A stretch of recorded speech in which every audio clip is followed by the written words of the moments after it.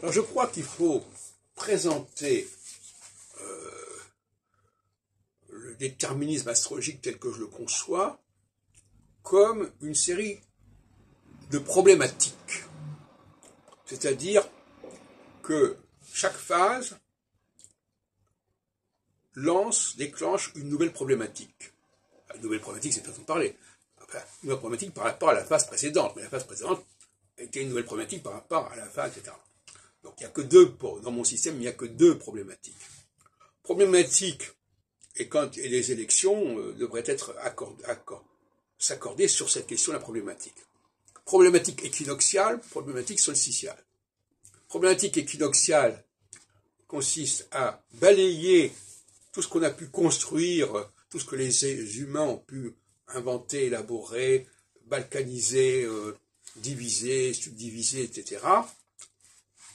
Et la problématique euh, euh, solsticiale consiste justement à rebâtir, à rebâtir tout ce qui a pu être anéanti par la phase équinoxiale.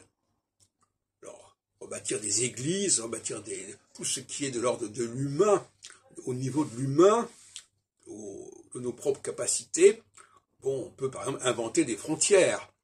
Hein. On peut, voilà, on n'a pas cessé de, créer des nouvelles frontières, etc.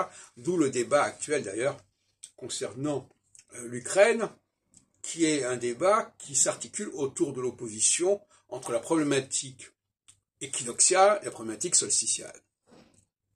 Alors pourquoi? Parce que tout simplement, euh, les problématiques de la phase précédente peuvent survivre. Hein. C'est-à-dire qu'on peut être dans un anachronisme. On peut euh, vouloir développer des problématiques qui ne sont pas de mise à ce moment-là. On peut avoir une problématique équinoxiale alors qu'on est en phase solsticiale. On peut avoir une problématique solsticiale alors qu'on est en phase équinoxiale. Donc là, il faut accorder les violons. Et si on ne le fait pas, ça crée beaucoup de confusion et même de conflits qui pourrait être extrêmement dangereux. D'ailleurs, entre parenthèses, à cette ère nucléaire, il est quand même important de disposer d'outils au niveau de la science politique, qui pour, moi a besoin de l'astrologie, pour éviter les dérapages qui pourraient avoir des conséquences euh, apocalyptiques.